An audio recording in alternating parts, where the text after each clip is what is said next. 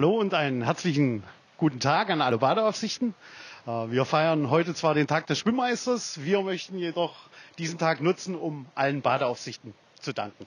So wie sich das Berufsbild des früheren Schwimmmeisters gewandelt hat zum heutigen Begriff Meister für Bäderbetriebe, so vielseitig ist der Beruf heute natürlich auch. Also zur hauptsächlichen Aufgabe der Beckenaufsicht sind viele interessante Aufgaben dazugekommen. Zusätzlich zu den Kinderschwimmkursen gibt es heutzutage auch Kleinkinderschwimmkurse, Babyschwimmkurse, aber auch Aquagymnastik und Seniorengymnastik für die Älteren.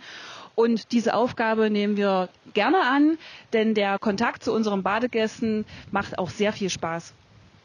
Herzliches Dankeschön für die Bewältigung der täglichen Herausforderungen, die die Aufgabe, Menschen zu schützen, ähm, mit sich bringt.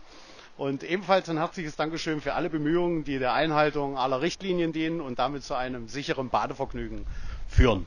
Und wenn auch ihr Teil unseres Teams werden wollt, dann bewerbt euch einfach auf der Karriereseite der Stadtwerke.